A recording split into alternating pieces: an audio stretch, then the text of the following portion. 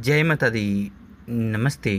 सनातन धर्म में पेड़ पौधों को देवी देवताओं की तरह ही पूजनीय माना गया है। धार्मिक मान्यताओं के मुताबिक माना जाता है कि कई पेड़ों पर देवी देवताओं का वास होता है जिसकी पूजा करने पर जातक के जीवन से जुड़े कई तरह के कष्ट दूर हो जाते हैं, जबकि उनकी मन मुताबिक मनोकामनाएँ पूरी हो जाती है। मान्यताओं के अनुसार कई पेड़ों से जुड़े जड़ से लेकर पत्ती, फल तक के साध, तक में साधक के सभी परेशानियों को, परेशानियाँ दूर हो जाती है। दरअसल, इन पौधों में खास बात है कि इसमें कई तरह के पौधों का न सिर्फ़ धार्मिक बल्कि ज्योतिषीय लाभ भी बताया गया है। तो आइए जानते हैं कि इन पेड़ पौधों की पूजा से व्यक्ति की सभी मनोकामनाएँ पूरी होती है, उससे जुड़े पूजा के अचूक उपाय के बारे में विस्तार से हम लोग इस वीडियो में जानेंगे। तो चलिए, अब इसके बारे में जानते हैं आंवले के पेड़ की पूजा का उपाय। सनातन धर्म में आंवले के पेड़ को काफ़ी पवित्र माना गया है क्योंकि इसकी उत्पत्ति माता लक्ष्मी के आंसुओं से मानी जाती है। माना जाता है कि आंवले के पेड़ की पूजा करने वाले साधक पर ईश्वर का आशीर्वाद बना रहता है, जिससे वो अपना खुशहाल जीवन जीता है।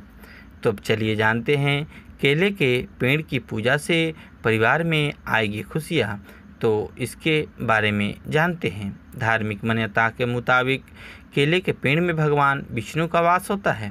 ऐसे में गुरुवार को श्री हरि नारायण की पूजा के बाद केले के पेड़ की पूजा की जाती है। ऐसा करने से भगवान विष्णु प्रसन्न होते हैं और साधक पर अपनी कृपा बनाए रहते हैं, जिससे उसकी सभी मनोकामनाएँ पूरी हो जाती है। तो चलिए अब जानते हैं आम के पेड़ की पूजा का क्या महत्व है। माना जाता है कि आम के पेड़ को शास्त्रों में काफ़ी महत्व है। क्योंकि इस पेड़ की पत्तियाँ, लकड़ियाँ, फल, सभी कुछ पूजा में काम आता है। इसके साथ ही हिंदू मान्यता के अनुसार हनुमान जी को आम काफ़ी पसंद है। इसकी पूजा करने से सारे दुख और परेशानियाँ दूर हो जाती है। तब तो चलिए जानते हैं तुलसी के पेड़ की पूजा के महत्व के बारे में। तुलसी के पौधे का धार्मिक महत्व बहुत ज़्यादा होता है।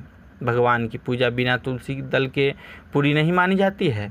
चूँकि तुलसी के पौधे में माँ लक्ष्मी का वास होता है, ऐसे में जिन जगहों पर तुलसी के पेड़ की पूजा होती है, वहाँ हमेशा सुख और समृद्धि बनी रहती है। धार्मिक मान्यता के अनुसार तुलसी को विष्णु प्रिया के नाम से भी जाना गया है, जिसकी पूजा करने वाले जातक पर श्री हरि का पूरा आशीर्वाद बना रहता है। तो चलिए अब जानते हैं समी के पेड़ की पूजा के महत्व के बारे में। सनातन धर्म में समी के पेड़ का धार्मिक एवं ज्योतिषीय महत्व के बारे में बताया गया है।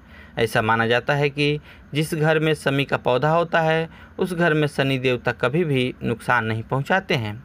इसके अलावा समी के जड़ को धारण करने पर साधक को शनि संबंधी दोष से निजात मिलता है। पीपल की पेड़ की पूजा के महत्व के बारे में अब हम लोग इस वीडियो में जानेंगे।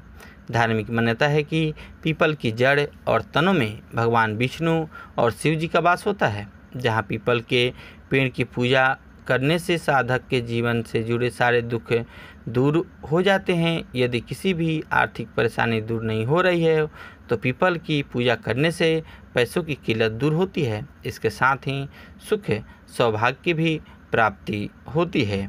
तो ये जानकारी कैसा लगा, कमेंट में ज़रूर बताएँ। और आपका इससे जुड़ा कोई सवाल हो तो कमेंट में ज़रूर पूछें। जय माता दी।